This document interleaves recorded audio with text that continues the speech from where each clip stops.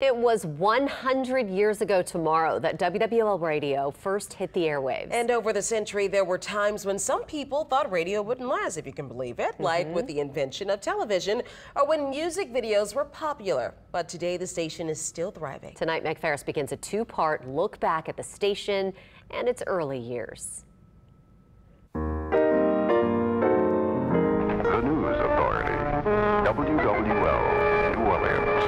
100 years ago, the Jesuits had a vision. It really is a physics experiment at Loyola University that births WWL radio. A vision that launched and sustained well known personalities' careers and, yes, even saved lives. So, that first broadcast, March 31st, 1922, was very simple by today's standards. Someone played some songs on an upright piano, and then the president of Loyola, Father Cassidy, asked for money. But WWL Radio quickly went from a fundraising tool to national prominence.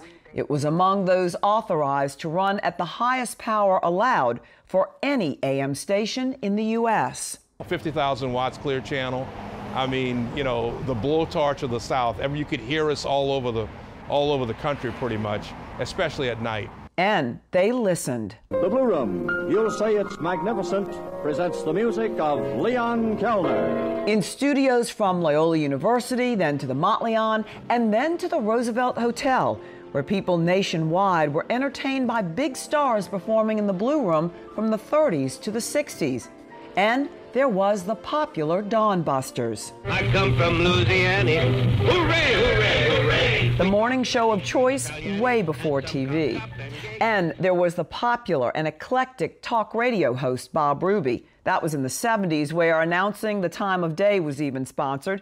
So it was always King Edward cigar time. I had just been fired from working at a women's shoe store in Lakeside because I didn't do a very good job selling women's shoes. But Bob was, was brilliant. I learned a lot from Bob. And I... WWL radio host Scoot was just 19 when his father delivered a bill in person to Ruby. It was for promoting his show by skywriting.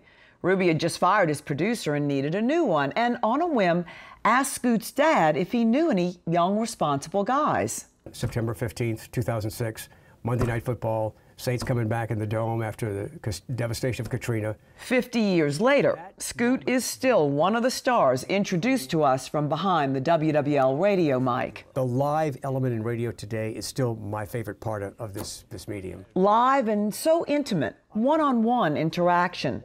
Scoot remembers the best compliment he ever got a woman recounting rushing to the hospital to see her critically injured father. She wasn't even sure that her dad would be alive when she got there. And she said, You made me laugh during that drive. And I thought, if I've done that, as simple as that is, I've done my job. Right around the time Scoot started there, WWL took on a higher profile job, becoming the voice of that new team playing at Tulane Stadium. 870 became the place where we could vent to Hap Glaudi after the Saints lost. Later, we'd vent through the cutout hole in our Aints bags to Buddy D. The new management were like, who's this guy, Buddy D? when Loyola sold WWL Radio to a new company in 1989, Diliberto was nearly a casualty. The new company's managers had no clue about New Orleans accents or New Orleans characters until they got a lesson from WWL brand manager Diane Newman. Should we hire him? I said, yeah, yesterday. And then years later, finally, a broadcast many thought they'd never hear. Snap, placement, kick by Hartley, and it is, it is good! It's good! It's good! Pigs have flown. Hell is frozen over. The Saints are on their way to the Super Bowl. Some goosebump creating moments etched in our souls need no explanation. The radio call is what we remember. You don't remember the TV announcer. You remember the radio announcer, Jim Henderson. Pigs flying and hell is frozen over. Everyone remembers Jim Henderson.